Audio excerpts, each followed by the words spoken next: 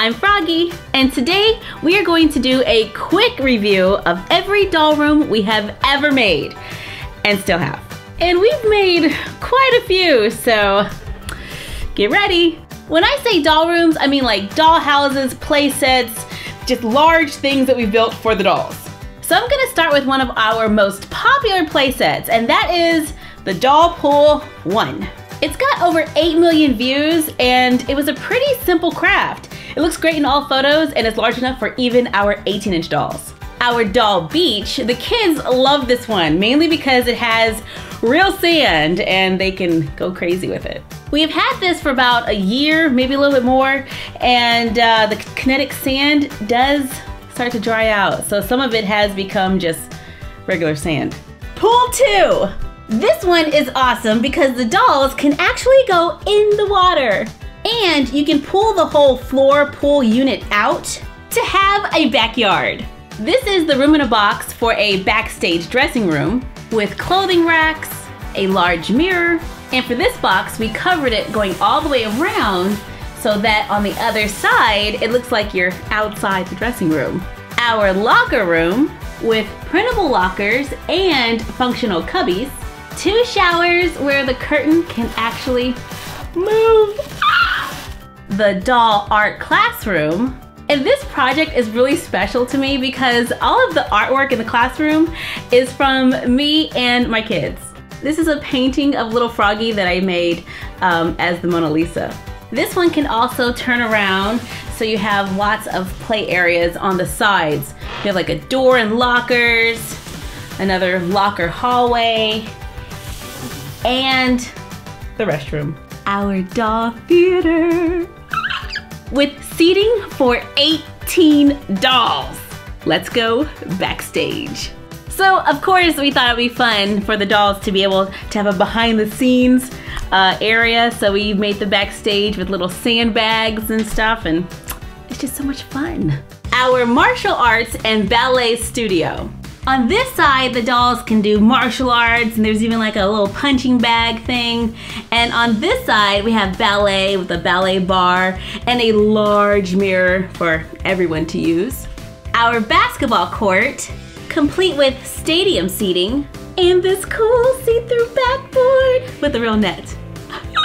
Tiana's Place is really cool. It's like a huge restaurant based on Disney's animated film. The Princess and the Frog. This one has an awesome street scene to capture that New Orleans feel. And on the inside, we have Tiana's restaurant, and then you can go up the stairs to an upstairs little loft apartment. The Gravity Falls Mystery Shack. This was one of the biggest things that I've made just because of the footprint. It has a very awkward T shape, which makes it kind of uh, interesting to store. I'm a big Gravity Falls fan, and so I made this as accurate as I could with still being a functional dollhouse.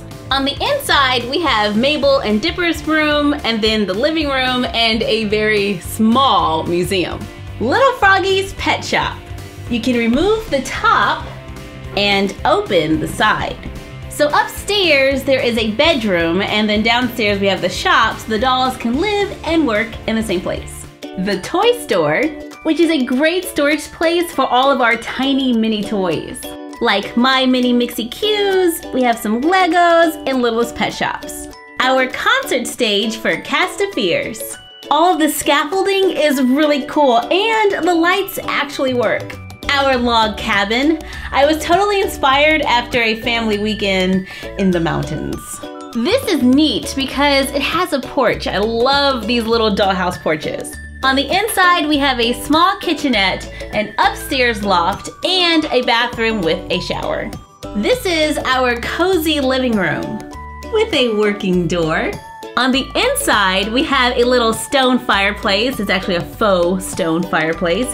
And a little staircase that leads to like a little loft kind of area. This is Sophie and Chloe's old living room. We just recently made them a new one. With a ticket booth, tunnel, and a little gift shop.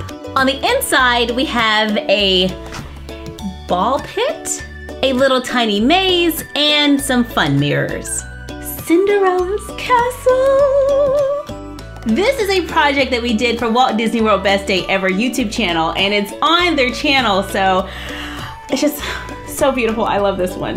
We can even go inside the castle. Speaking of Disney castles, this is our ice palace. It even has an ice throne. There's an upstairs and downstairs complete with ice furniture. Our skateboard shop, which is really a board shop because we even put our surfboards in it. This is a great place to store all of your fingerboards and we've made some of our own. Then there's like ramps so you can actually use them.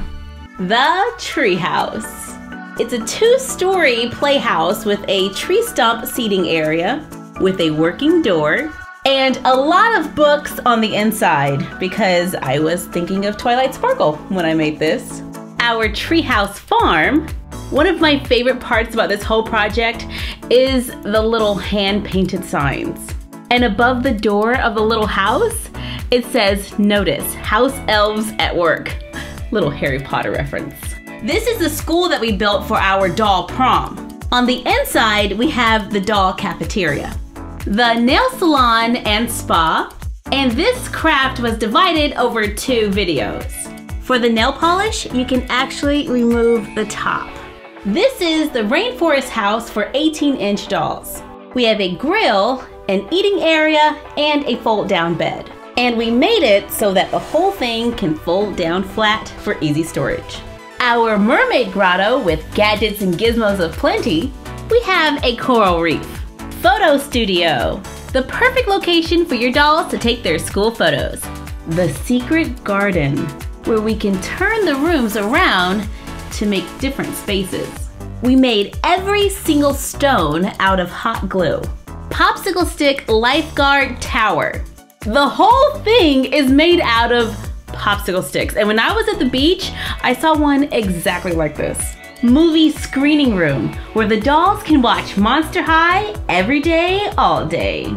There's a step and repeat on the side, and a place to film movies on the back. The zoo with four different habitats that can be rearranged to make a hallway. Dollhouse of cards. My favorite part of this whole house is the little archway. The grocery store. The grocery store! Um, I don't even know which set we're on at this point. We're just kind of, I don't know, what is it, like the 90th house that we've looked at? Okay, let's keep going. Here we go. This houses a lot of food that we've made in previous videos. We've made all the food in here and uh, it always falls down. So this is one of those sets where I really want to glue everything down. Minecraft room, complete with a Steve head mask for the dolls. Our beach house, where the side opens. I have plans to uh, decorate this. I just haven't gotten around to it yet. The camper, which opens up so you have full access to the inside. The Fabsome Sweet Shop. What I like about this is the candy counter that we made in a different video. The Froyo Shop with an expanding wall. Our doll classroom with a working chalkboard. Hi! The Fashion Boutique. We used a lot of magazine cutouts for this one. Star Frogs Coffee. And I think this is a cute little corner shop.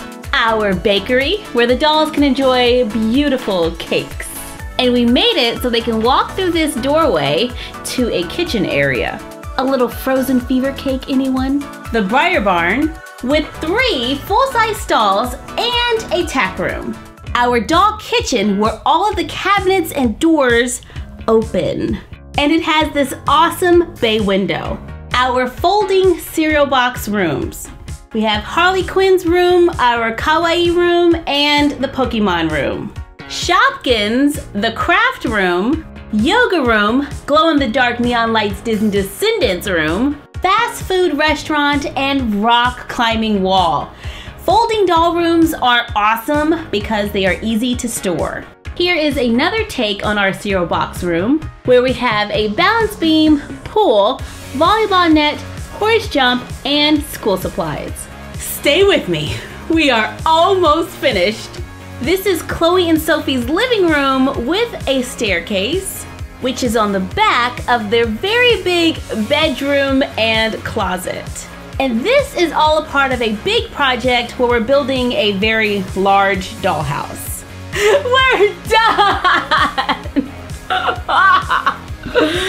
it took forever. I just love making doll rooms and I will continue to make more. So we'll see you next time. Bye.